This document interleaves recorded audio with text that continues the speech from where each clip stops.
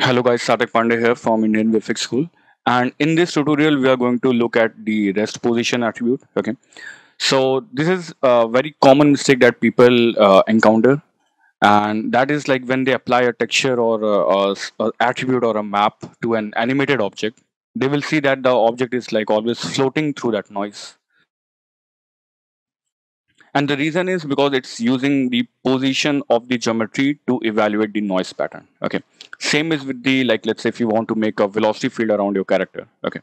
So what happens is like uh, you will see like it's always going to get animated on every frame. Even if i turn off the animation it's going to get animated on each and every frame okay. So how we can come from here to here where our uh, map is not going to animate it's going to get stuck to our geometry okay and it's going to follow it uh, in a proper way. And same with the velocity field okay? And like if i turn it off you will see it's not going to change its um, vectors around the geometry okay? All right so let's see how we can do that. All right so we are having a crag geometry over here and it's walking uh, like this okay? And in order to add some like uh, add some velocities the first thing that we need to do is like unpack this so because any FBX that you bring into uh, Houdini or any animated geometry, mostly it's packed. Okay. So what does packed geometry means? So that uh, it means like it's it won't have any information about the point positions. Okay. Uh, all the points and all the attributes will be like just packed.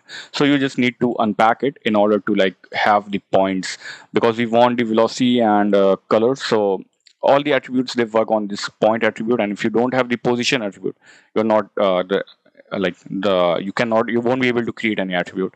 Okay and most most likely you won't be able to do anything if you don't have any unpacked geometry. Okay so we unpacked it. Okay now let's see if i just add a you know attribute noise. Okay so i want to add some color on our geometry. Okay so this thing is fine. Okay and i'll just set it to zero centered and i'll increase the amplitude and if I just play it, you will see it will just start changing its color. Okay, I can set it to float value also, and you can see uh, it, it will just start changing its color. And now it's it's going to be uh, useless because let's say if I want to have some particle emission, or let's say if I want to have some fire emission based on this area where uh, where the fire is like you know. Um, sorry where the texture is white and i don't want to have any emission where the texture is black so uh, if our geometry is getting animated, uh, that thing will just become useless because now it's going to change its uh, texture over the time. So how we can fix that? Same if I add a point velocity. Okay. And let's say if I change it to, uh, okay, I'll just set it to compute from deformation. And let's say if I add some curl noise over it. Okay. Or let's say if I just turn off this uh, set to value and I'll just add this curl noise and I can click on this display point trails okay. So you can see it's uh, okay. So right now let's say if I want to emit some particles from this geometry so they are going to get emitted uh, in this random direction. Okay. And I just want to animate it very slowly. But as soon as you will uh, this object will start animating you won't have the control to animate it yourself. It's going to just follow the position attribute and it's going to just animate it itself. So this will just become useless in our case. So what is the way to fix it? So we need to drive uh, we need to get an attribute from the position and we need to like freeze that attribute and then we need to refer it to the um, location attribute over here. So let me tell you what i mean.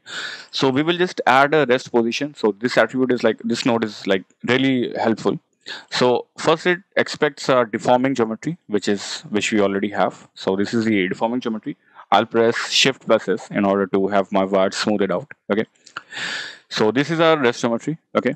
Oh, sorry. This is the deforming geometry. And then it says uh, rest position. So what rest position means is like the, uh, the geometry that you will get on the first frame. Okay. So we want a static geometry out of it. So I can just add a time shift node. Okay. Time shift. And in order to make it static or freeze on a particular frame, you can just go to that frame and then you can click right click and delete channels. So I'll just go to the first frame and I'll right click and I'll click on this delete channel. So we will have a static geometry. Okay. Now, if I plug this into my rest position, okay, uh, second input of the rest position, you will see we will have an attribute uh, which will say rest. Okay. And you can just rename it to whatever you want. Okay. Now you will see it's uh, it's going to uh, just stick to our geometry. Okay. Even though it's uh, like even though our geometry is getting animated the, uh, the attribute of the position is changing on every frame but still it's stuck to the uh, you know uh, geometry quite well. Okay. And that is it. Now if i just add this attribute noise okay. And if i click on this right now obviously okay first of all i'll just click on this rest. Okay. Yeah. So now we have this black and white map but still it's going to float okay? Because we are telling we are not telling it to use the rest attribute okay? So right now it's driving the color based uh, so it says location. So here it says noise now noise pattern and it's set to simplex okay? That is fine. And it's saying from where it's going to uh, you know calculate the position of the noise. So that position is set to p okay?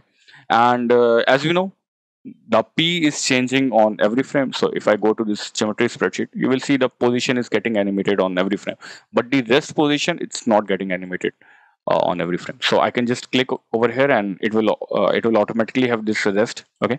And if I just click on this, you will see, yeah, that is it. Bam. Now, if you want to have some fire uh, to, you know, to stick on your surface and just animate gradually. Okay. And you can just do that. Okay. all right so you can do one more thing. If you go into this animation you can click on this animate noise and now you will have an animated noise which you can control very well. So let's say if i increase the pulse duration so my uh, noise is going to be animated very slowly. And this is like very helpful. I mean it's not very helpful like it's um it's it is so helpful because it's going to be used like in everything okay so if you want to emit some smoke on the character while it's moving or if you want to emit some particles uh, through a map you're going to use it all the times.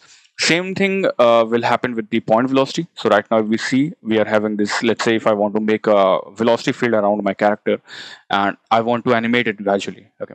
So maybe i'll increase the swirl size something like this. So the problem that we'll face right now is that it's going to animate on every frame. You can see the uh, it's changing the the vectors are they are getting changed on every frame.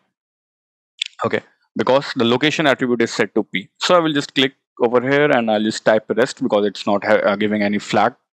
Okay so now if i change it to rest you can see now the velocity vectors they are like not changing at all. Okay and now i can click on this animated object uh, animated option and now my pulse duration is set to one. So now it will just you know now we can animate it on our will. Okay all right so i can now increase the pulse duration. So the animation the noise of the the animation of the noise it's going to be uh, animated quite slow okay? And maybe i can you know uh, like increase the scale or maybe decrease the swirl size to what i want. And now i have a total control over our um, noise animation. And same with our map animation okay? So that was it uh, i just wanted to make a tutorial on this rest position because i've seen a lot of uh, you know students and people doing this mistake where they're just using uh, the attribute noise on top of uh, an animated object and they are like getting confused with that why is it not sticking to the geometry? Why is it floating through the you know why is it floating through the um, uh, character? So that is why it's floating uh, through the character because the attribute that it's using is the you know position and not the rest position. So we need to use this rest node to get a rest position and then we need to tell it to our uh, uh, like attribute noise or uh, point velocity to use that attribute instead of the position attribute. Okay. So I hope you like it and if you like it, just uh, subscribe to the channel and we have more Houdini tutorials, advanced ones and the beginner ones. Feel free to check them out. Bye-bye.